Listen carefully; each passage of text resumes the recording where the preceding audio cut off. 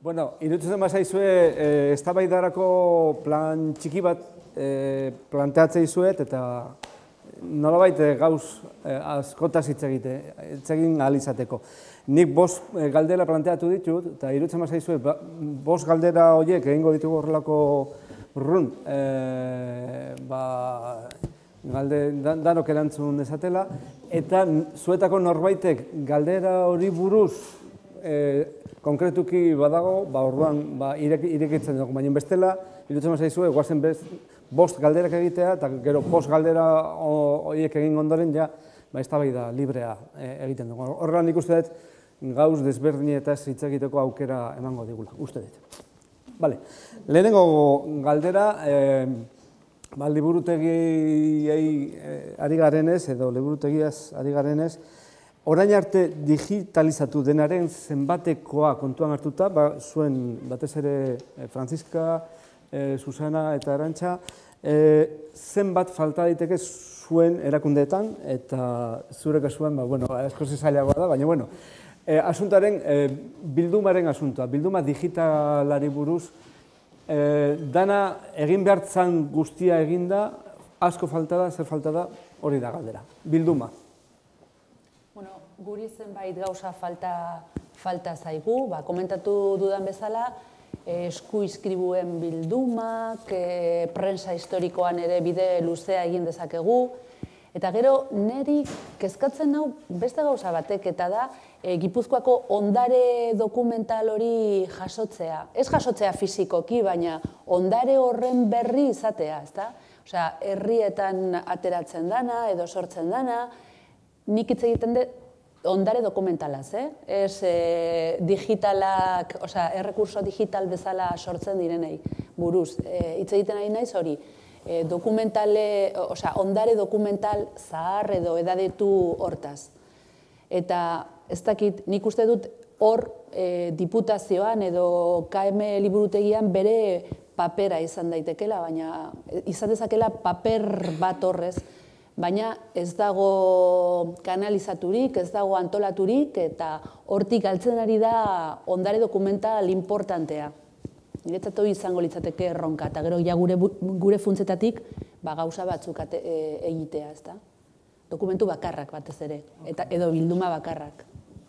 Zuen kasuan garantza? Gure kasuan ere, ez dugu, bueno, Koldo Michelenarekin, berak aipatu duen bezala, atzoko prensa, proiektua horretan datza, ez? E, jarraitzea prentsarekin eta beti e, dokumento bakarrak, e, oraintze ba, beraien esker e, bukatuko dugu labode Gipuzkoa, eta ni beti emate du beti dirua hitz egin behar dudala, baina eskala da, e, lankidetza zer da, ba, Franziskak ere proposatzen duna, ez?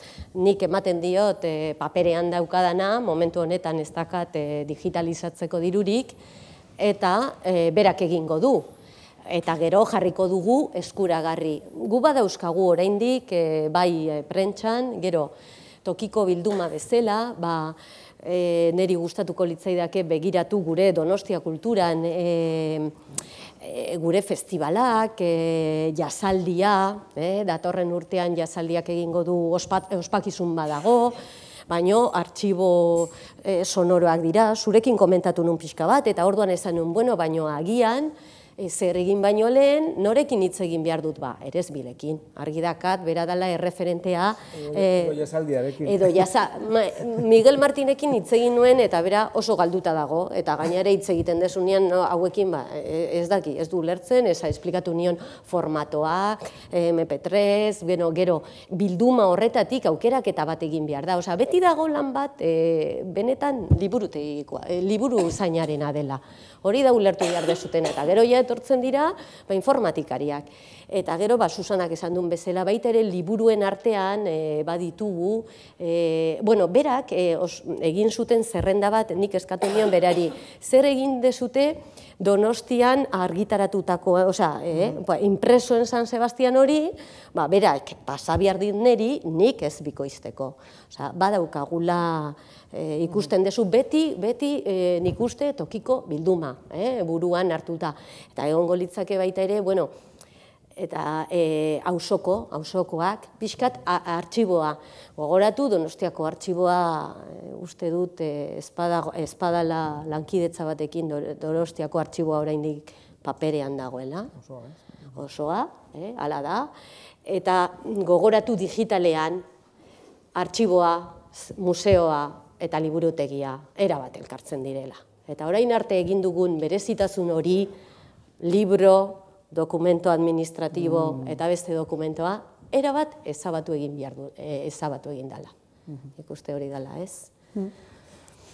Franziska, zure aldetik, eh, bueno, Eusko Jaurritzaren ikuspegitik, eta liburuklik hasi berria danez, nola ikusten duzu, eh, bildumaren, eh, mm, esan, no esango nuke, bildumaren, eh, propo, este, Amaiera. Bai, bai. Amaiera ikusterik badago? Ez. bueno, dakizunez, jaurlaritzak ez dauka ondarerik, ez? Osa, bueno, gu, e, kudeatzen dugu lege gordailua, baina berez, e, ondare bibliografikoak esan nahi duena, ez? Be, bueno, lehen zen mila eta bederatxereun arte, orain ja luzatu egin da apur bat, ez?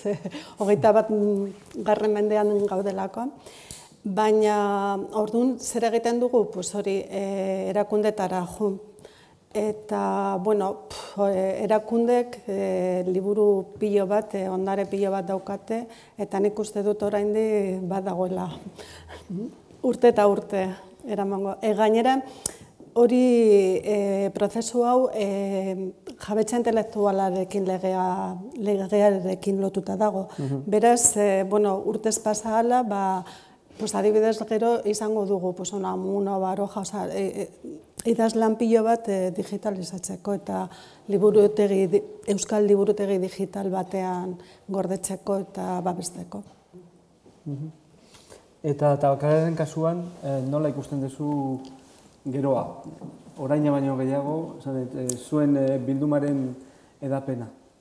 Gau, hemen azaldu dugu hori lan natal txiki bat, ez da, gure eguneroko programatik sortzen dena hor dago nolapait liburutegia atalak suposa dezaken guztia, baina e, nik uste dut e, digitalizazioari buruz hitziten ari garenean zer digitalizatu behar den edo ez eta bar bat irizpida jartzea oso importantea da.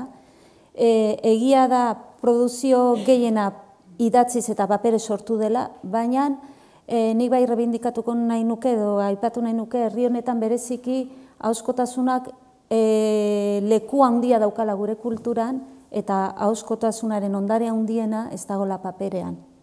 Eta horra legin handi bat egin behar dela, eta badaude hor proiektuak, nire ustez, e, e, gizarte erakundetatik oso urbil daudenak, lan handiarekin eta horiek nolapait ere e, kontutan hartu behar ditugula horrelako planteamentutan.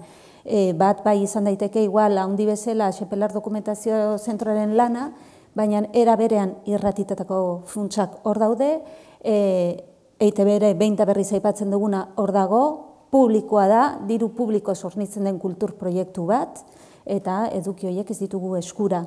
E, eta batzuk analogikoan egongo dira, beste batzuk digitalean, baina hori ere hor dago. Eta planteamendu egin behar denean, e, e, honen inguruan guztioiek kontutan izan behar da, edo e, hauskotasunara historia dela, edo historia hauskotasunaren bidez biltzen nahi den hainbat proiektu lekuan, leku, irian, herri, e, eta bueno, bat ditugu hor proiektu nagusi batzuk, eibarreko adibiden ikusten esan gauratzu eta referentea bat dela ere, ba, bueno, oiek ere kontutan hartu behar ditugula. Gure papera ez baldin bada, eta lehen e, bat nator, lehen artxiboa, liburutegia, museok eta bar oso banatuta zuen bezala hori apurtu da, e, eta e, hori da gure planteamendu berria, orduan guzti horren revisio bat nik uste dut egin beharra daukagula.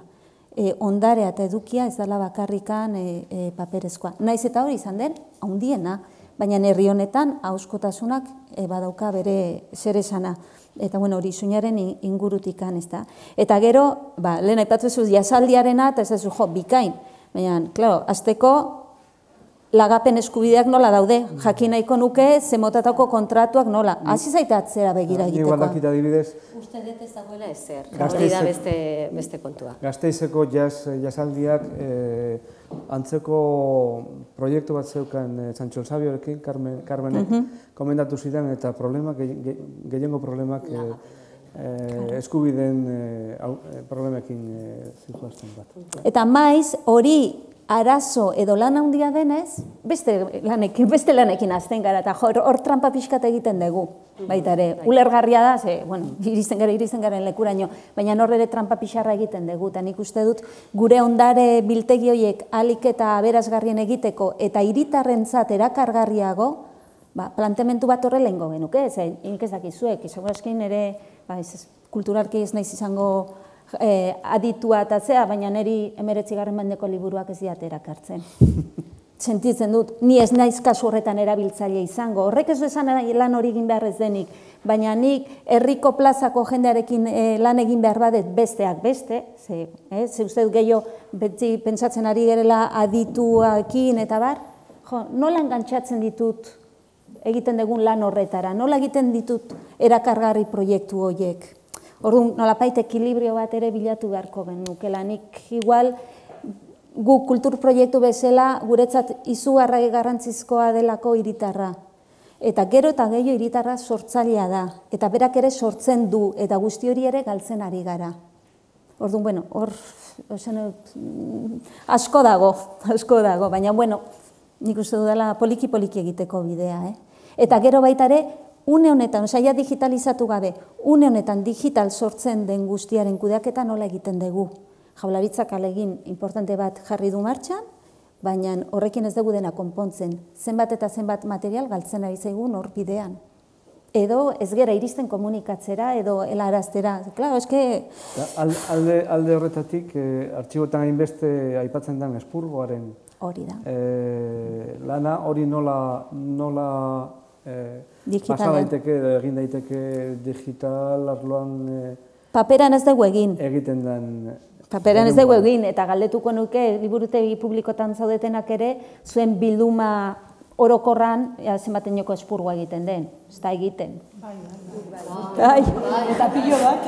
Bai, eske aurreko batean batzuk binizketan, eta esaten ziaten. Eh, ba, orduan, hobe, ez, eske aurreko batean profesional batekin izketan, eta esaten zian, jo, ez, nik hemen bilduma osa daukat hasiera hasieratik. Eta orduan esaten nuen, pum, ba, eskerrak, etzen hemengoa, eh? baina, bueno, bezkerrak. Uneko euna izango zen. Baina egia da artxibotan, teoriako euneko amarra ez degula bete. Ez. Ez dugu bete. Orduan, bada arazoa biltzeko momentuan. Igual, claro, ja da sortzen dugun horren biltzeko momentuan. Guk produzitzen dugun guztia ez dugu gordetzen. Irizpide batzu molda, em, ipini ditugu, baina nala ere, neure ustez, ir- oraindikan ere irizpide altuak dira. Zure lan volumena handitzen denean, segurazki jetxi egin beharko dugu. Ez geralako iritsiko guztia egitera. Eta gainera, egunetik egunera, gehiago produzitzen dugu. horregatik. Eta ordu, bueno, zuei gertatzen zaizuena soinuarekin, ez da? Gero eta gehiago produzitzen duzu. Orduan, bueno, edo eh, ez dakit eh, bilduma lokaletan, herri bildumetan, sumatuko zenuten asko gehitu dela, ez dakit zen neurri arte, ba ez dakit herriko sortzaileen lanak edo taldetako lanak bildu behar badezute, jo, hori ere da izugarrizko lana, jarraitzea guztia. Galderatxo bat agian egin daiteke hemendik Bai. aduntza. Zer, e, e, bilduma lokaletan e, digital arloan e, lan norbaitek edo libururen batek e, lan egiten ari zarete? Edo esperientziarik badezue edo edo ezagutzen dezue?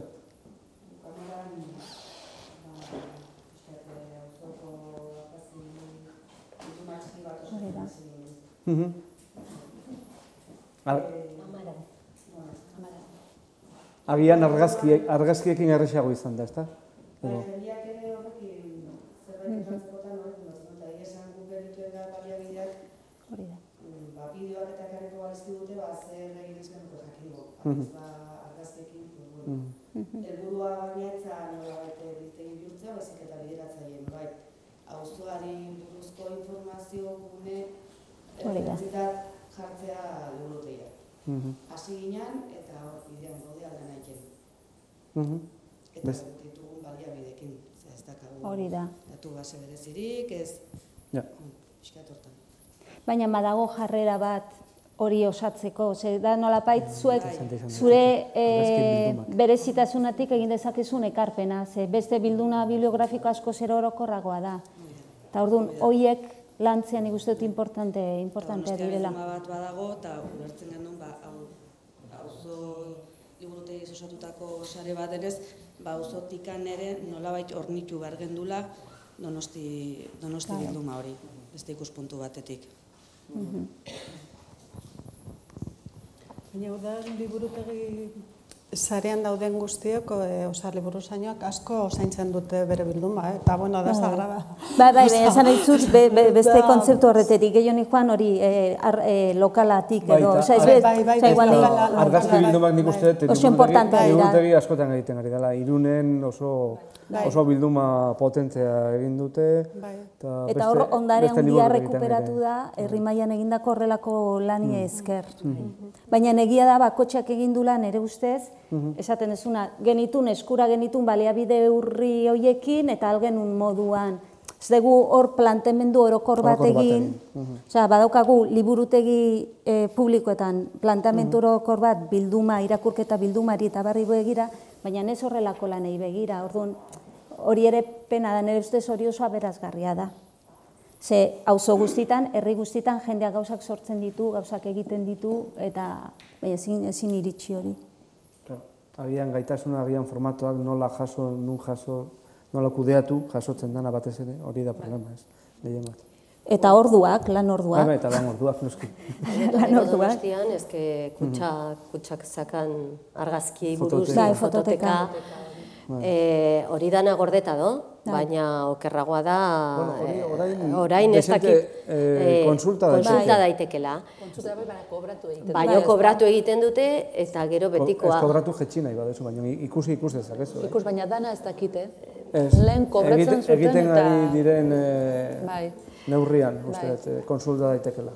Esan nahi dut hori fondo pribatua badela, hemen gaude erakunde publikoak eta baita ere Euskal Herri mailan e, zatiketa honetan beti gertatzen zaigu hainbat erakunde egiten ari direla lan hori. Eta baita ere erakunde horiek e, zer nolako zentsua daka orain kutsak egitea hori ba, Eusko, Jar, e, Eusko Jarlaritzak edo erakunde batek gordeko balu.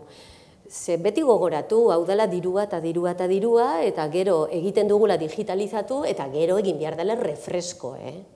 Osea, hor ez dela bukatzen, nik ez egit. Refreskoa gero, gero. Eh, aipatu dugu. Refresko. Bai. Guazen, irutzen bazaizue bigarren Bai. galdera jotzen dugu, interesantea uste izango dela.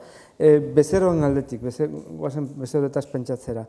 E, aurkitzen aldute bilatzen dutena, zuen ikuspuntuen aldetik? Gure katalogoan ez. Askotan deitzen dute, hotz egiten dute telefonoz eta gidatu behar ditugu ba, e, errekursoak aurkitu arte. Horregatik gure erronka, e, e, erronka bada e, bizibilitate hori lantzea eh? eta e, errekursoiek azaleratzea. Dana dala arantxarekin ados nago, eta batzutan ez dala bat ere erresa, jakitea ze motatako erabiltzeak, edo, edo beti pensatzen dugu adituetan, olako erabiltzaietan. Gure kasuan behintzat. Guk gure funtz gorde hoiekin zerbitzua ematen diegu batez ere adituei, ikertzaileei, historialariei, ez dugu beste motatako ez dakite erabiltzai be- bezeroi pentsatzen. Eh? Beti, beti bezero berbekin ibiltzen gea leku batetik bestera. Eta ahalegin guztiak, eh, baliabide guztiak zuzentzen dira olako beze, bezeroetara edo erabiltzaietara, hori adituak direnak, ez da? Eta hor mm, eh, gu- guk behintzat ahalegin desente egin behar dugu, ba, edozein, eh, edozeinek gure bezeroa eh, eh, izan ahal izateko, ez da? Edo jendea erakartzeko, batez ere, edozein. Eta beste galdera bat, e, e, konsultetaz e, Bai. ari garenez. E, bai aldezue automatiko sistemarik e, jakiteko zer den konsultatzen ge, ge, den gehiena ala ez? Esan, dut, Bai. Hortaz zeo zer ikusi dezute? Bai, e, Google Analytics erabiltzen dugu, ba, hori, mugimenduak aztertzeko, ebaluatzeko, eta gero jakiteko nundik ateratzen, nundik sartzen diren webgunetara. E, ia, ia, bueno, el 99% sartzen dira e, bilaketa simple, Simplean, eh? simple, bai, bai, ber- bai. buruz, ez. Normal, katalogazioan, ba, ez dakit, e,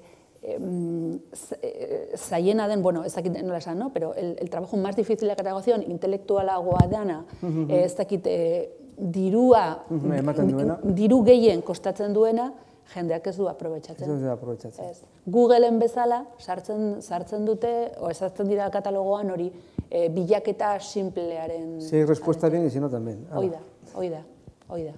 Eta gore, gero gure kasutan, horregatik egiten ditugu e, analitiken e, fitxa horiek gure kasutan, e, dokumentu batzuk hor sakabanotuta daude kolekzio osoan, bilduma osoan, baina ez da bat erarrisa, aiatzea ezakit probatu dezuen gure katalogoan, mm. edo bilatu dezuen, adibidez, e, el fondo sastre da argazki funtz bat, eta 6.000 eta bosteun argazki mm-hmm. osatuta, eta e, argazki horiek ikusteko jakin behar dezu nola, nola galdetu sistemari. Eta, klaro, guk bakarri dakigu. Claro, eh? Liburu zainok, jendeak ez daki. Olako argazki den bat aurkitzeko jakin behar dezu ez dakit. Baina, hoi da gure erronka, erronka, erronka izugarri edo importantea bat. Hoi da, eh, Nola baitez? Hoi da, hoi da. Nola gertu eh, eh, izkuntz dokumentala eh, izkuntz arruntara, ez? Mm Baina igual hori un honetan guko esatea erresa da, ez? Eta, oza, eta planteatzea, ez? Eske, mm, planteatu dugu erabiltzaileak iritarrak nola nahi duen. Eta ala behar du, ezinbestean. Baina alde zaurreko lan guzti hori egin ez bazan, ezingo genduke ah, plantea. Bai, bai. Osea, badaude fase batzuk bete bai. behar direnak. Eta gero automatikoki seguro errexako izango da, eh, orain dagoenetik eh, hizkuntz berrietara edo beste moduetara pasatzen. Bai. Eta gero beste gauza interesgarri bazuk, e, deitzen duzu herritarra eta nik esaten dut erabiltzailea, baina zergatik erabiltzaileak, zergatik erabiltzen e, duten entzat bakarrik. Hori da. Eh? Erabiltzen ez direnak ere hor daude. Eske gure ardura da guztien eskura eta guztiena iristea. Claro, esate arresa da Euskal nola egin behar den hori, bai. eh? Horregetik behar ditugu alik eta gehiago talde bai. anitzak, ze ba, pentsatzen du soziologoak edo lagunduko digutela horrela planteamendu horiek egiten, ze gu liburu zaina gera eta bai. iristen gera iristen garen lekuraino, eta nahiak izan ditzazkegu handiak eta bai. baina oso mugatua gaude, oso mugatua gaude, eta orduan, bueno, baina nera berean, nik uste gure jarrera hori hori izan behar dula, ez da, piskat alde horretara begira. Zuen bai. kasuan, Arantxa? Mm, alde batetik ez dakite ari zaren hitz egiten katalogoare, katalogotik iristea bilduma digitalarera. Bai, bai. Bueno, bai, berak dauka koa browser, guk jarri dugu bufain, mm, gertatzen da gure e, bilduma digitalizatua oso txikia dela. Osea, ulertzen dia zuen, nik esango nuke bufain katalogo bezala oso ona dela. Eta dela open source tresna bat, eta hor badagoela bidea, bidea ikaragarria zergatik, ze e, egiten du, guk okiko bagenu gure bilduma digitala momentu honetan errepositorio bezala, oai, ba, ni badakit bufainek, eh, zarrera horretan zuek esan dezutena, zarrera bakarra kontsultatzen dula hor barruan. Bai. Baina, e, ni beti pega jartzen, hala ere, gogoratu, emeratzi garren mendeko prentsa, ezin zela ozerreatu, ezin zen, gu hasi ginean eta mhm. kalitate aldetik, mhm. gero, orain ez dakit pasatzen duten el OCR-a todo, bai. baina guk hasi ginean ezin zen, Hala ere... Zean OCR-ere nasontagatik. Zean OCR-ere, ba hori, baina teknika amar urtetan, ezke gauza eh, teknikoki, eh, jo, nik esan nahi dizuet hori dala, erronka bai. eh, teknologikoa oso ondia dela nire ustez. Bai. Gero, erabiltzailea hitz egiten ari garenean, jo, ba, segmentatu egin behar dela. A ber, e, ezin dut egin, e, naiz eta egin oso eskuragarri bilduma digitala, ba, nire ustez, arantzak esan duna, nik digitalizatzen badet gordetzeko eta zeintzeko la libertad, la unión, ez dakiz zer, ba, horrek, daka, bakarrik interesatzen zaio, erabiltzaile motako puru batei. Bai. Ulertzen? Mm. eta erabat ados nago, zertarako egiten badet jasaldia, badakit hori izango dela oso erakargarria ez dakiz zer, eta agian beste mota bat, beste publiko mota bat, erabiltzaile beste mota erabiltzaile bat mota bat. aurkituko dudala. Eta gero gu publiko bezala ba, dauzkagu oso astuta ba, umeak, ze realitatean ez dugu ezer egiten berezia e, umeak sartzeko gure liburutegietan, osea, konsultatzeko eta horrek e, liburutegi publiko bezala hori asko kezkatzen hau. Osea, e, esan nizu, nik, nik alde batetik nire bilduma digitala, bilduma digitala egin dugu historikoa, ez eh? nire kezka handiena ez da bilduma digitala historikoa. Eta beste bilduma digitala hori eskuragarri jartzea nire erabiltzaileei, zen ni badakit zein dira nire erabiltzaileak. Eh? Eta itxarotena diri da liburu digitala. Bai, gaur- nire galdera ere hortik, hortik hort- doa. hortikan erezi, Juan. Eh. Ez bakarrik, esan, ez bakarrik eh, dagoena errez aurkitzen duten gala ez, baizik eta bada, ba ote dagoen eh, eskakizun pila bat utxik gerat, geratzen Nire direnak. ustez ez? bai, Osea, eh. Norbaitek bezeroak eh, zehoz eskatzen dutena eta hori egin gabe dagoela. edo- Eta gainera ez gea enteratzen Hor, hortaz ente- enteratzea oso zaila da, ez? oso zaila. Bai. Bai. Bai. Bueno, dana den, eh, repositoriok, az, eh, repositoriok asko laguntzen dute, ez? Eh, claro, o, open access izatera erakoan, zu bilatzen baduzu Googleen eta denok goaz Googleen, eh, zu jartzen baduzu el noticiero bilbaino eta lehenengo referentzia da el noticiero bilbaino. Eta non aurkitzen duzu liburu klikan, zergatik, oai sistema erabiltzen duzulako.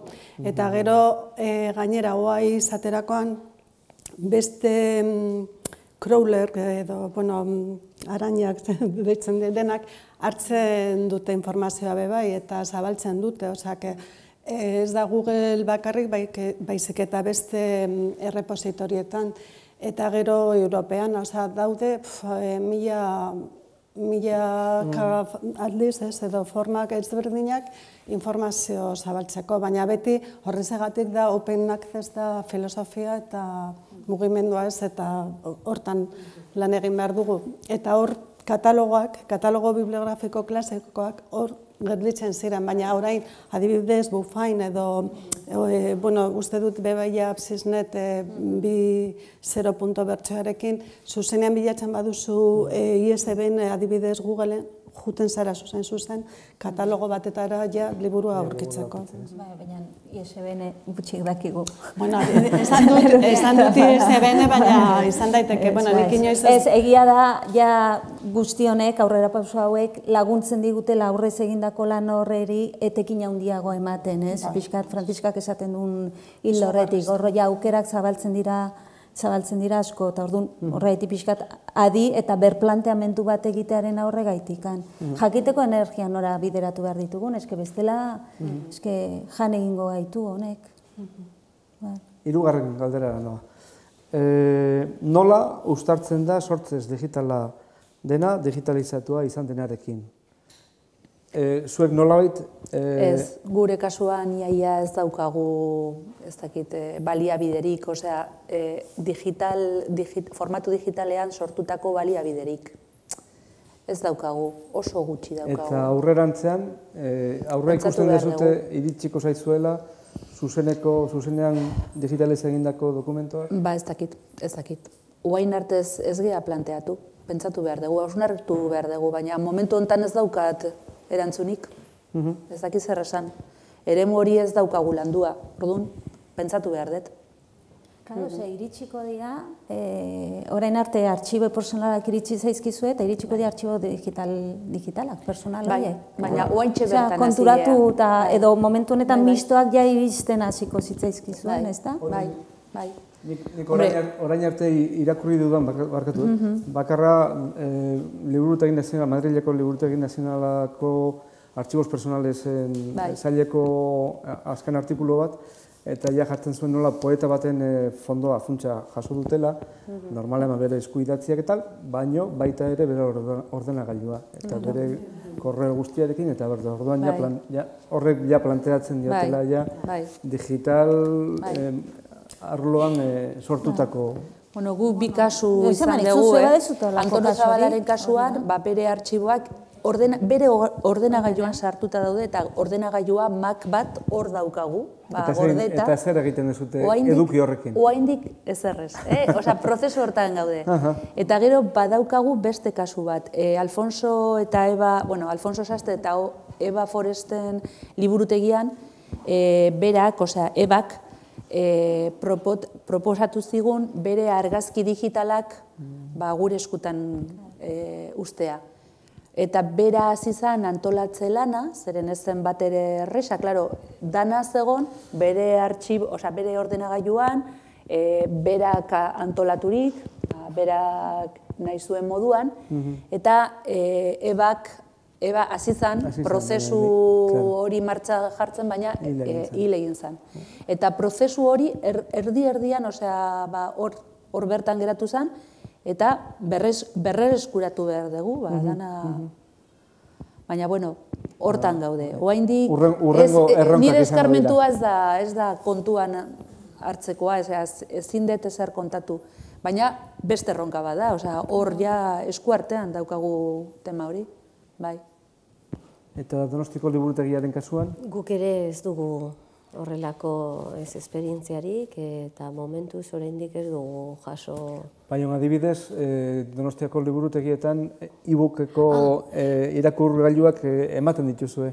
Bai, bai, Ze problema ematen di- dizkizue horiek, Eh, eh, konparatuz adibidez, ba, liburutegi, liburutegi fisiko, eh, liburu fisiko baten eh, Bof, dana, e, realitatean e, irriderren mailegua, ze ondo hitz egin da, irriderrak mailegatzen ditugu, e, eduki, e, edukiak e, sartu genituen funtsak, e, edukiak ziren ba, e, eskubide gabekoak, osea ez daukatenak Bai, bai, arazorik. libre, eh, libre. Orduan ze gertatu zen, ba, lehenengo momentuan e, erabiltzailea oso pozik zegoen, tresna berri bat zen, ezagutzeko aukera izan zuten, hori izan zen pixka bat helburua baita ere, eh, tresna ezagutzea. Eta pasa genuen inkesta bat eta dan hori, egin genuen piloto, osea, zer, e, nahi, e, zer iruditzen zaizu aparagailua, e, bere funtzionalidadeak, Gero galdetzen genion baita ere zenbat e, bat datu base ezagutzen duzu, Google Books, ez da, e, eta horrelakoak, eta azkenian galdera bat zan, eta okiko bazenu liburu berdina digitalian eta paperean, e, zein erabango zenuke, eta danak esaten zuten, e, uneko irurogeta marrak esan zuen digitalean.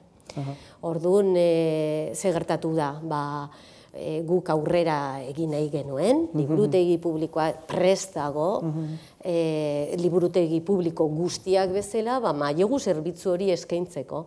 Eta ezin dugu eskaini, ba, editori argitaletxeak, proposatzen digun modeloak direlako, ba, Ez dira eh, bidegarriak, ez dira bidegarriak. Eta orduan badakit Frantziskak orain kontatuko digu, ba, berak Eusko Jarlaritzatik ze pauso ematen adiri den. Zebait ere horretan, lankidetza mailan bai esan behar dut, e, behintzat Donostiako udaliburutegia argi daukala baita ere ez dula bere plataforma propioa erosiko. Eh? E, iruditzen zaigu mailegu zerbitzua izan behar dula ba, Eusko Jarlaritzak e, jartzen duen plataforma bakarra. Eta beste guztiak, sartu behar dugula liburutegi, mailegu plataforma horretan liburutegi e, irakurketa publikoa, hortik bai hasi beharko lukela, alik eta azkarren. Guk bakoitzak, ba, erosi edukiak, eskura garri jarri denentzat, eta Eusko Jarlaritzak mantendu plataforma hori benetan kosto handiko tresna dela. Sare bezala ze nola ikusten duzu? E, Ez, urrengo bueno, ez, ez, erronka gaude, ez gaude lanean, ze da legealdi honetako helburu estrategikoa da. Eta, bueno, ja hasi gara, e, atera dugu kontratu bat, e, sleipen ja egin behar dugu oso azkar. Eta gure planteamendua da plataforma propio izan. Hitz egin dugu Euskal mm, gremioarekin eta prest daude mailegatzeko. Bueno, e, mailegoa izango zen e, kanoa ordaintzen, eh? hori da proposamena. Eta, bueno, horretan gaude, pues, liburu klik bezala, ba, maika... Claro, proiektu eta... Ez, baina maika pausu ezberdinetan, Ah, ez? Eh, claro. Hitz egin behar duzu bitartean eh, editorekin. Gero, eh, zai esango da, suposatzen dugu, eh, gaztelaniazko editorekin, ze, claro, bere proposamena da lizentziak eh, saldu, ez, ez eh, edukia. Eta guk nahi dugu edukiak. Eh, bueno, hor, eh, horren alde apostua egin dugu eta ikusiko dugu nola. Eta izango da hori ba, Euskadi osorako plataforma. Plataforma digital bateratu, eh? Bai. Eta landuko dugu mm, liburu klik eh, liburu klik eh, ondoan, ez? Eh, errepositorio berdina eta gero, bueno, pues hori lauki bakarra bilatzeko eta baina horretan gaude. Mhm. Eta bakarraren ikuspegi aldetik, eh, Ba, e, nolabait gerora- komer, komertzialari begira edo, ba, klar, gure tematika espezializatua da. Horrek ere mugatzen gaitu izugarri, hau da, irakurketa publikoa ez da ematen gurean, edo ez da emango gurean, bentsat e, liburutegi, herri liburutegiak izan dezaketen zentzu horretan, eta pentsatzen dut, ba, hemen dauden beste hainbat liburutegi espezializatu edo zentro bezala, ba, komplikatzen dela izugarria gai asko ere zehatzagoa denean. Badaude e, aukera batzuk eta sarerako lotura zuzenak eta da gure edukiaren portzentai bat gero eta gehiago handitzen ari dena librea da, bueno, badalako olako jarrera bat sorkuntzan lanean ari den jendearena, baina egia da e, oraingoz eskuratu edo erosi dirutruke erosten duguna, oraindik fisikoa dugula. Fisikoa. Gai guzti hori konpondu bitartean ezin garala arriskatu e, Eta- ja erabaki batzuk hartzera. Baina urte betean hartu beharko ditugunak, noski. Eta aurrerantzen begiratuz, em, ikus, aurre ikusten di, dituzu adibidez, eh, kreazio eh, arlo desberdinetako elkarte edo zanet, eh, ba, idazleak, eh, musikariak, eh, hoiekin hitzarmenak egitea edo beraien eh, sormenak... eh, Lan, nolabait- landu beharko da, hori, osea, planifikatu gabe dago hori, orduan ezin dugu gauzondirik e, aurreratu, baina egia da, momentu honetan daukagun jar, e, ak, mm, posizionamendu bat edo lan egiteko modu bat, gerta daiteke e, film bat in- interesatzen zaigu. E, orduan, film hori interesatzen zaigu, programari lotua edo dena delakoa, baina egia da, programa hortatik kanpo ezin dezula film hori e, eman. Kasu horretan egiten ari garena da, kasuz kasu e, zuzendari bakoitzarekin gai hori lotu. Orduan, lagatzen digute, horregatikan kontratuen lagatzen badigute, bai, bestela ez. Klar, volumen e, osoari begira, ba, el, argitaratutako materialekin jokatuko dugu baldin eta legak nola usten digun horretan. Baina egia da baita ere, trampa egiteko, trampakako txartean egiteko bideak ere badaudela.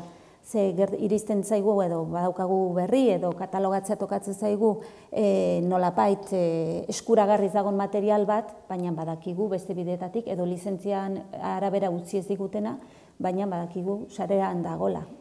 Orduan, baliabide horiek ireki ezkero, pixkat hor lan egitea da. Klar, horrek zeskatzen du, lan ordu pila, ze ikerketa hori egin behar dezu. Baina nera berean zure bilduma bai e, e, e, aberazten dezu, eta gure plataforma, hau da, eta gu- gu- gure esan nahi dut kolektiboarena, sarea barin bada, ba, horren bidez iritsiko dira gure edukitara, e, etxetik mugitu gabe, mugitu behar ez dutenean. Ez? Orduan hori hori ere beste aurrera pauso bada. Baina, bueno, ba, zuek bezala, ba, dena galdera pila bat, eta zuek aurreatzen dezuten neurrian guk aprobetxatuko dugu, segurenik, ze ez dago, ez dago beste zearikan. Laugarren galdera, la del millón. Zer eragin dute teknologia alderdiak? Nik uste dut ja esplikatu dudala, azaldu dudala lehen, ez da, itzaldian, guretzat izan da oso bide espinosoa.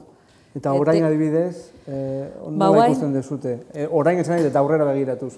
Eh, posible ikusten dezute eh, haunditzen, haunditzen joatea, ala, ala, ala zaila Ba, ikusten dezute. aldatzen ari da egunez egun, eta gu aholkuleritza potente, sendoa behar dugu, ba, gure informatikariek ez dakite ba, beti ikertzen, hor, hor informatikariak daude hor ikertzen, gauzak begiratzen etengabe, eta gu ba, erritmo horretara e, korrika beti, ez? Osea, guretzat izan da oso erronka, tekno, eh, erronka teknologika nahiko, nahiko zaila izan da, liburu zainentzat, baina bueno, ikasten, denbora osoan ikasten, bai. Arantxa, baita, baiet esaten duen. Baita, erronka Eske, te- erroko- esparru guztietan, Bai. formatuetan barkatu, eh? en el ancho de banda, eh, hori, eh, ez dakit. Baina nahi ditzen Soportetan. zait, ez dakit, edo kanpotik begiratuz behintzat, bai diputazio kasuan, bai donostia udalaren kasuan, kaso egin dizutela. Esan dut, eh, gertu euki izan dituzuela Oso, tek- bai, teknikariek, eta hori Oso, importantea oso, da. Oso. Eh, Bai. esan dut, bueno, Gure ez hori bai. erresa izan den zuen kasuan, donostiako liburutarien kasuan, Nik eskertu behar dut e, Bai. Donostiako udal zentro informatikoa. Tenin idea. Lehen ez ez dut esan, baina eskartu behar zaie. Eskertu behar dut, ze egia da, e, mm, segurtasun aldetik eta udaletxe bat garenez, ba, badirudi informatikoak beti jartzen digutela kortafuegos, ez? Ba, ba, ba. Baino beraien laguntza e, oso interesgarria izan da, ba, adibidez, serbidoren kontuetan, e, aholkulari teknikoa, e, beti esaten dut, Eusko Jaurlaritzak ez, e, ematen digun diru laguntzat e, teknologi berrientzat, e, halako epeetan ateratzen dela, mm, orain egin dugu eskaera, baino justifikatu egin behar da gasto guztia abenduaren hogeita hamaika arte, hori posible da Donostiako udaletxean, zergatik, ze udal zentro informatikoak ditu homologatuta e, gauza guzti horiek, baina bestela administrazio bezala, atera behar dezu lizitazio horiek. Horregatik, alde horretatik oso esker honekoa. Gero, bestalde, e, orokorrean ni oso ondo eman naiz informatikoekin, argi okidet, e, nire plantillan oki nahiko nuela bioiru informatiko. Usten dut e, gure badakit erronka badela eta badakitenak liburu zainak garela, baina ez dut imaginatzen e, hogeita bat garren mendeko liburutegia ba, informatiko gabe. Iruditzen zait, e, jungo diala eh, espazioetik eta egongo direla ba, jendeari laguntzen, jartzen aparagailuak, ez da, osea, ze halako, bueno, ulertzen diazu, nere ustez mundu oso berria eta nik ulertzen dut zenolako estresa sortzen digun liburu zainei. Ze, Klaro, nire adinekoak, paperakin jaio gara eta hemen gauden guztiak ez da bat ez da digitala. Osea, danak dia de nire belaunaldikoak. Osea, laguntza hori behar dugu, baita ere ez da astu behar zer nolako etekinak ateratzen ditugu. Osea, nik ikusten dudanean bufain, Ba, benetan, buelt, zergatik, ze ez dugu eh, eskaneatzen karatulak, eta hor daude, eh? zer da hori, el, la nube o el, el invento, ez dugu Wikipediako biografiak eh, idazten, baino nere gure katalogean sartzen bazarete, klikatzen dezu egilea eta Wikipediako eh, biografia ateratzen da. E, egia da, baten batek galdetuzun, e, ui, eta nola ateratzen da laburpena liburuarena? Hori ez, hori barkatu sartzen dute gure liburu zainak.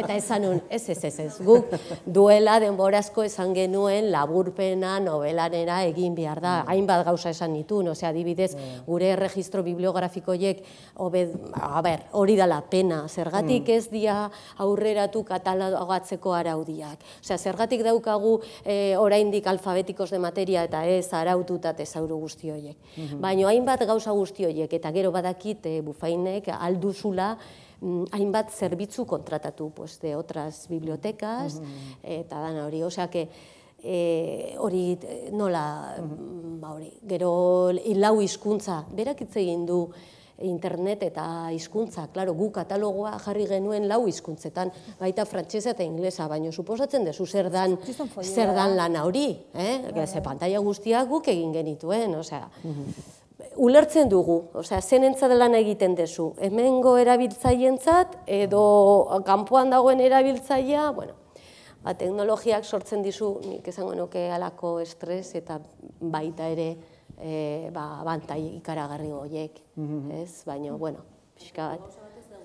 Web 2.0 erraztu egin degula, e, osea, erraztu egin dula baita ere panorama, bueno, eh, osea, alde batetik sufritzen, baina beste aldetik e, erramenta eta tresna batzuk sartu sartu dira, ba, erraztasun handia ematen bai. diotena prozesuari.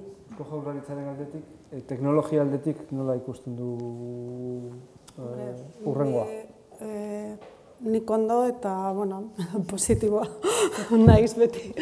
Osea, e, hasi ginenetik eta egia da ondaren proiektuarekin beti danik esan dugu egieko laguntza eta bueno, haien laguntzari gabe ezinezkoa da horrelako proiektuarik atera.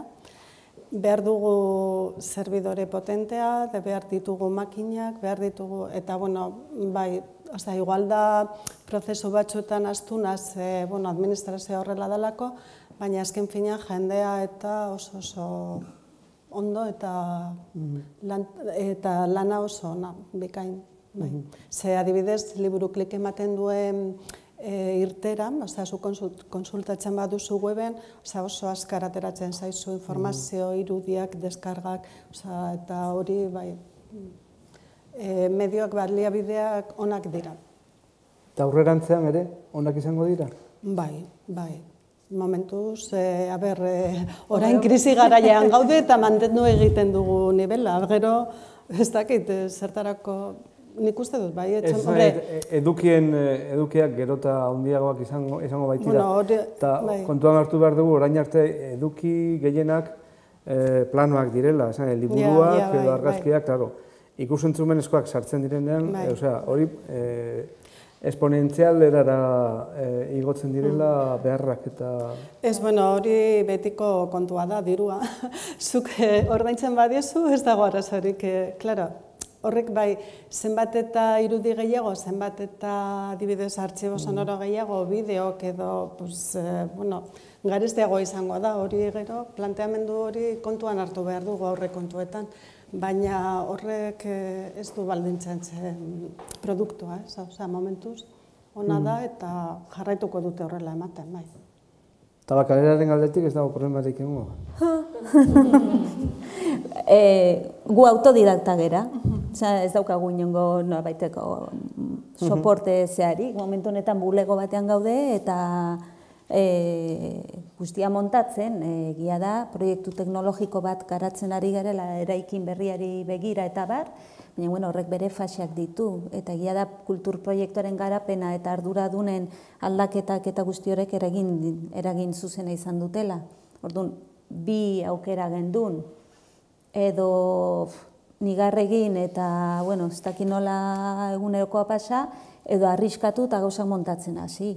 Orduan, gauza batzuk, e, nire ustez ez daude behar bezain lotuak teknologikoki, eta lehen esan deguna, e, espero inoiz e, administrazioko erakunde batek ba, errepositoren ardura hartzea adibidez, edo e, ze guztiak jasan beharko degun arazo da, ze, esan dugu, refreskoak egin beharko dira, seguridade kopien e, konpondu beharko dugu, e, bestalde ikusentzuneko materialaren volumena repositorio batera jetxi behar de, baldin badezu horrek suposatzen duen denbora, beti ere esko handiagoa da, orduan lan prozedurak aldatzen dira, orduan une honetan, bai, azki era e, etxekoan egiten ari gara, nola baita esateko, zuzena, baina etxekoa e, jauzi bat eskatuko duna momentu batean baina hori, ez daukagu ez informatikorik eh, etxean eta bueno, komplikatu izaten ari da prozesua. Orduan, bueno, saiatzen ari gara, bintzat, osatzen ari garen taldea, alik eta e, formazio diferentetako jendea e, egotea, ba, horretan laguntzeko. Baina egia da guzti honek eskatzen dula proiektu serio bat, teknologikoa, oza, digital mundu guzti honek, eta nik uste dut guztiak ari gerala neurri batean arriskatzen, zer gertatuko den jakin ez dakigulako eta ze soporte izango dugun ez dakigulako. Ez, orduan, bueno, ba, beti ere eskertzekoa da, jaularitza bezalako e, talde bat lanean eukitzea, zezen bat aldiz joten dugu ikustera, edo, bueno, ba, ala beharko du, lidergo bat beharko degulako guzti, guzti honetan. Hore, momentu esaten dana, eta, bueno, adituek e, bibliografietan edo zein tokitan da, open access erabili behar dela, hori alde batetik, eta gero, momentuz ere, pues EDM, osea, estandar, nazio, nazioarteko estandarrak, eta hor mugitzen gara, klaro, gero, haiek edo pues, IFLAK edo UNESCO, edo eraku, nazarteko erakundek aldatzen badituzte irizpideak, badano, baina bueno, momentuz badirudi kalma. Gaudela. Momentu lasai batean gaudela, eta baina hor da, osea, bi... eh, Bai, ba, bi oinarri bai, horiekin bai, bai, uste bai. zela, ez da? Bai, open access, derrigorrez, ze bestela ikusgarritasunik ez dugu izango, eta gero beste aldetik, e, bueno, e, Europa mailan eta Europeana da helburua. Hor egon nahi baduzu, ba, derrigorrez EDM metadatak erabili. Eta ez dago, kos- ez dago besterik. Eta gero igual gure, gure mugitzen ari garen arloan daukagun berezitasun bat, e, claro, guk ez dugu funtzionatzen, gure proiektuak ez du funtzionatzen liburutegi publiko edo sare batek izan dezakeen e, egiturarekin, ez da? E, gehiago nolabait espezializatua tematikan eta gainera sorkuntzaren inguruan eta bueno, harreman gehiago eh, daukagu bai hemen edo estatu mailan dauden beste e, batz, kasu batzutan badira museotako liburutegi edo zentroak, beste batzutan sorkuntza zentrotakoak. Eta orduan, e, bueno, oinarri batzuk bai konpartitzen dira, baina asko kostatzen da kasu batzutan, e, estandar batzuk eta existitzen direla e, helaraztea jende bati. Igual, liburutegi publikoko jendeak oso asumitua dauka eta funtzionamenduera batzuk eta laneko tresna batzuk. Baina e, segun eta igual ze museotako jendekin edo zein sorkuntza zentroko jendekin harremanetan hasten garenean hori komplikatzen da, komplikatzen da asko. Kasu batzutan, ez ez, gure artxibo, gure artxiboa weba da. E, zera, ez orduan hor ere guk badaukagu beste lerro bat nolapait komplikatua dena. Eta, bueno, ba, hor ere beste, beste funtzionatzeko modu bat eskatzen digu. Nik apuntatu nahi nuke, claro, erresa dela, osea, e, orientabidea dela open access eta azkeneko formatua EDM. Baina ezaztu e, e, Sancho Sabio Fundazioak, e, Koldo Michelenak, e, hasi zirenean digitalizatzen e, diru eta baliabide ekonomiko asko gastatu direla eta bilduma guzti hori e, nolabait e, transformatzeko dagoela. Guk hemen e, gaude baita Franziska daukagu e, konsorzio, ez dela konsorzio de e, digita, prentsa, gaurroko prentsa digitalizatzeko eta ditugu e, diskak, e, e, amabitera dauzkagu. Eta amabitera horiek zenbat, kosta, zenbat, esan, zenbat diru e, kostatzen zuen dena hori jarre, jartzea, ba, eskuragarri erabiltzaientzat eta ez dugu jarri. Eh, ez dakite, eta da oso prentsa ez da, e, interesgarria. Orduan, e, erronka digitala ez dala nolabait e, gaitzetsi edo minus baloratu behar. Eh. E, eta hor dagoela kontua. Beti parre egiten dut, papera hor daukat, biltegian, ondo ordenatuta, ez dakitzen bat kostatzen duen, baino ama bitera horiek jartzea eskuragarri erabiltzaileei inoiz jartzen badugu eskuragarri. Eta ez? Bai. Eirura gaude. Bai, on jartzen, eta horrekin ja, ja azkeneko galdera erronke, erronke, erronke berriei edo zeintzuk izango diren e, urrengo urtetako erronkak ez.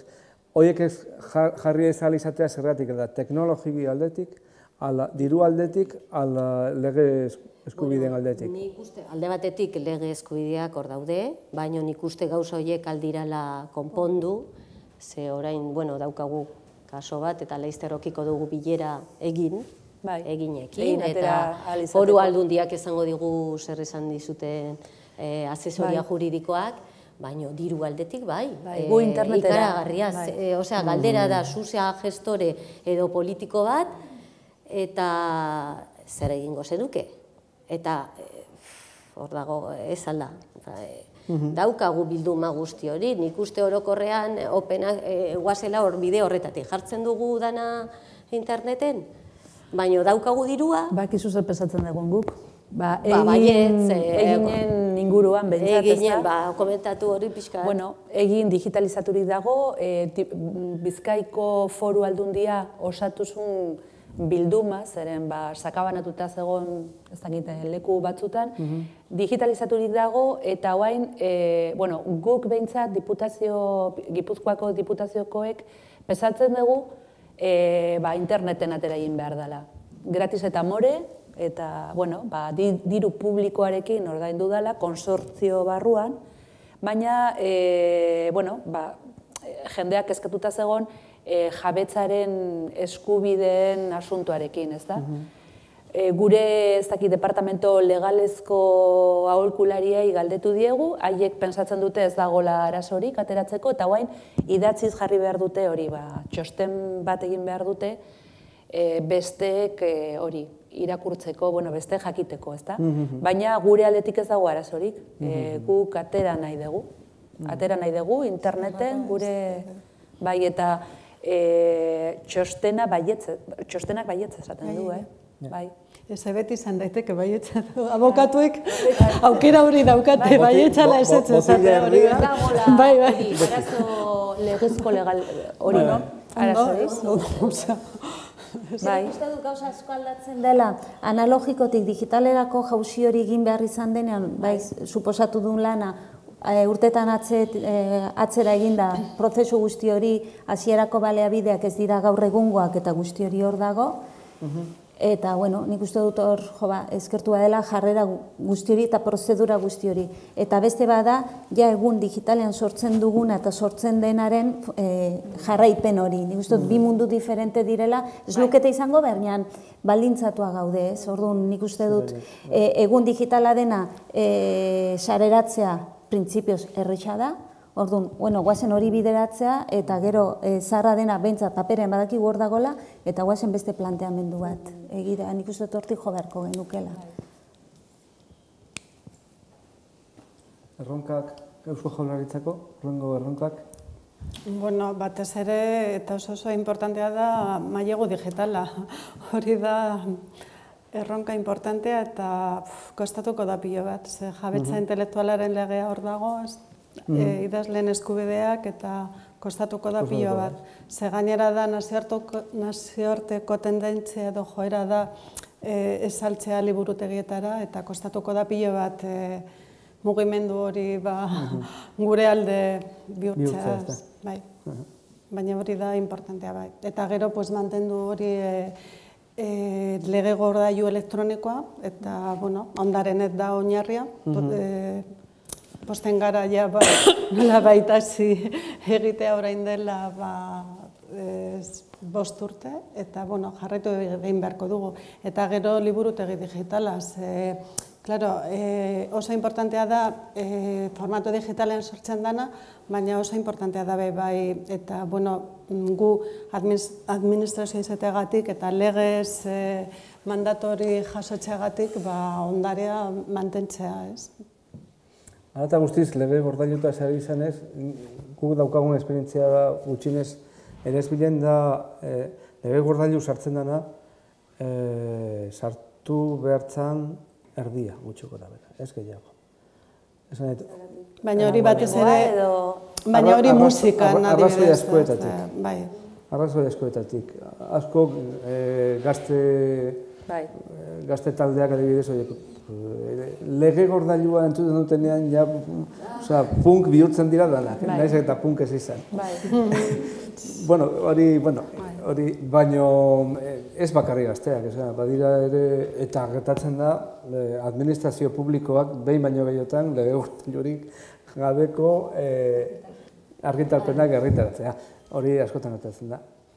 Eta gero badago beste, beste gai bat ere, batez ere digital aurrerapenekin eh, orain oso errez dela argitaratzea CD bat adibidez.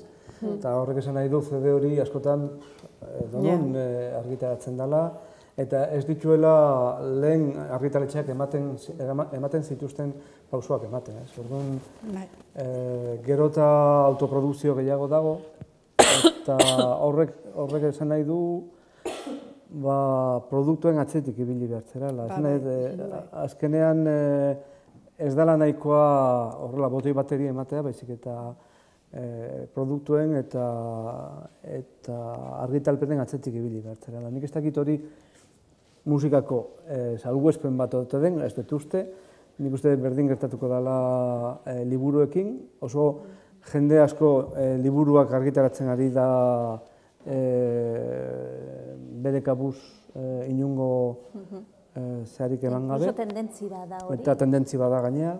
Orduan guzti hori nola kontrolatzen da? Oso zaila da. Ze, ja esan dizuet lehen, e, lege gordailu elektronikoak ez du konpontzen, hori, bueno, Claro. batez ere da, baimena ematen dizu, e, bueno, e, robotak e, erabiltzeko eta gauzak kapturatzeko. Osea, e, mandato legala betetzeko, baina besterik ez. Eta gero eta zailago izango da e, gauzak errekuperatzea. Adibidez, e-book ez dute, e-bookek ez dute lege gordeilurik eramango. Eramango. Beraz, ja, hor galtzen duzu Baina ekoizpen Claro. literario osoa edo, bueno, Baina horrek zer esan nahi du beste sistema bat eratu behar dugula danon artean.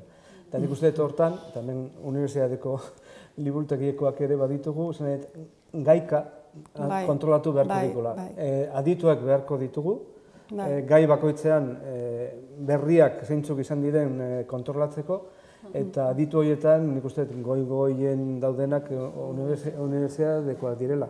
Eta eh, unibertsitateak sistema horretan sartu beharko zala. Esan eh, kontrola, nire ustez behintzat, nik uste gero eta gehiago gaika izango dela, adituen bitartez.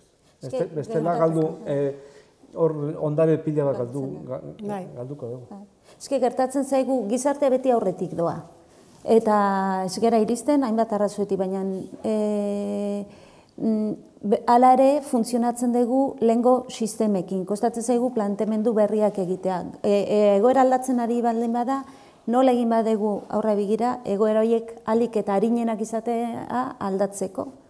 Ne? Eta irizpidoien barruan, e, zer da, dena da jaso behar dena, ondare gisa, e, zer da jaso behar dena, zein den irizpidea, zen, ez, orduan- argitaratzen dena, bai, Argitaratzen dena, printzipioz Eta- bai, baina, bueno, e, argitaratze hori zer, zer Hori da. da, zer da argitaratzea Eske hori orain? da, hori da, kezka, orain Hori definituko ba, beharko bagenu zer den argitaratzen dena, eske saltasun handiak izango genituzke. Orduan, guzti hori aurreai da eta gu ez gera, Hmm. ez, ez gera iritsi, ez gera iseri hortan pentsatzen edo hori zehatzeko. Eta horregatik, elan e, e, talde multidisciplinarrena horregaitik izan beharko du ez bakarrik teknologi ikuspegitik, baizik e, ezagutzea diferenteen ezagutza diferenten aldetik. E, gure kasuan, e, sorkuntzako lerro bat dutan ari behar ba- badugu lanean, e, arlo bakotxako adituak esan beharko digu zeri erantzun beharko diogun, liburu zain taldeak ez gera gai izango. Orduan nik uste dut horrelako eskema haundietara jun beharko dugu, edo hori estrapolatzera, bestela ez- ez gera iritsiko. Eta gero, e, mugak ere jarri behar ditugula.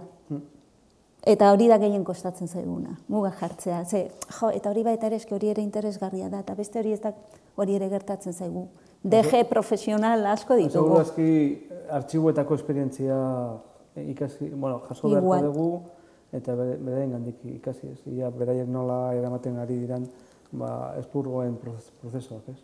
Bai, Eh, hori beste erronka oso interesantea izango da eta komplikatua. bai. Baina, bueno, ni bentsat, bueno, ja, norbaitek ir, Asper, zeozer asperrinak. galdetu nahi badu edo ja, ireki egiten dugu guztiz. Edo bukatzeko edo pintxo hartzeko edo. Nahi ez zuten bezala, galderarik edo horrela okurritzen zaizue.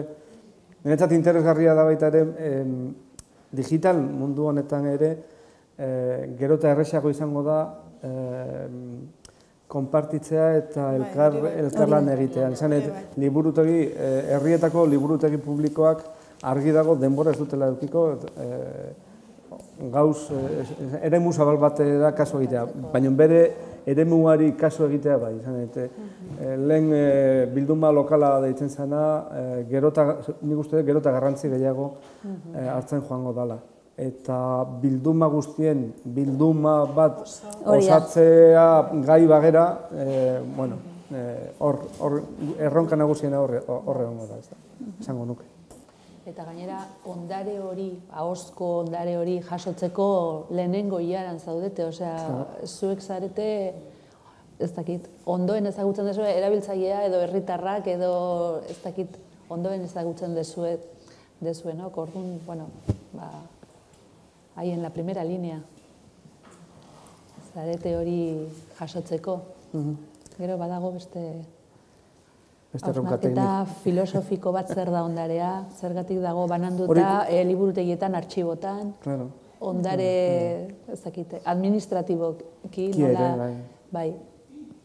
Zuek da ondare egiten dezute gure planteamentua da Bai. guk ondarerik ez dugula izango. Claro, claro, horregatik. Hori da planteamentua. Orduan, claro, aldatzen du jarrera ere izugarri. Bai. Hor dago koska importante. Eta zen neurri arte hori egia den edo ez. Bai. Baina, bueno, printzipioz guk ez dugu ondare egingo. Bai. Zer zer gehiago ordu? Ba, mila esker etortzagatik, benetan. Eta, bueno, zerbaitetan baliogarria izan dezala.